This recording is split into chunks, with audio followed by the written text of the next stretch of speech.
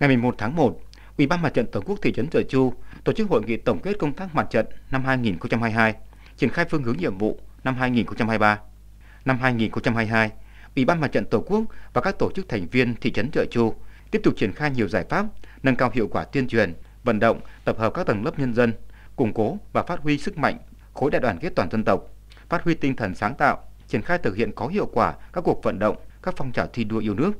phối hợp với chính quyền, các tổ chức thành viên, tiếp nhận quà của các tổ chức cá nhân, các nhà hảo tâm thăm hỏi, tặng quà cho các đối tượng chính sách, người có công, hộ nghèo có hoàn cảnh khó khăn trong dịp Tết Nguyên đán nhâm dần 2022 với tổng số 836 xuất quà trị giá 334 triệu đồng.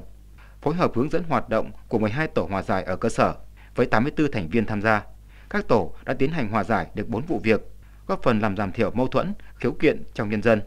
Bên cạnh đó, Ủy ban Mặt trận Tổ quốc thị trấn Trợ Chu luôn chú trọng thực hiện tốt công tác phối hợp, đẩy mạnh học tập và làm theo tư tưởng, đạo đức, phong cách Hồ Chí Minh. Chuyên đề năm 2022, cuộc vận động Quỹ vì người nghèo và cuộc vận động Người Việt Nam ưu tiên dùng hàng Việt Nam. Cũng tại hội nghị, các đại biểu đã phát biểu làm rõ thêm những thuận lợi và khó khăn trong công tác mặt trận năm 2022, đồng thời đề ra phương hướng nhiệm vụ năm 2023.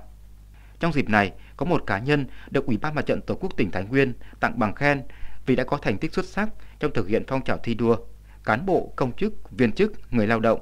thi đua thực hiện văn hóa công sở trong cơ quan Ủy ban Mặt trận Tổ quốc các cấp tỉnh Thái Nguyên giai đoạn 2019-2025.